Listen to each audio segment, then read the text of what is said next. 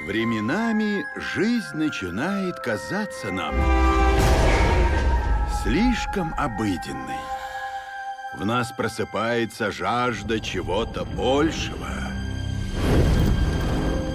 Чего-то, что невозможно описать словами.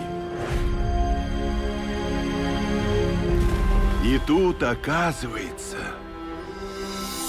что все, что тебе надо сделать, это просто войти.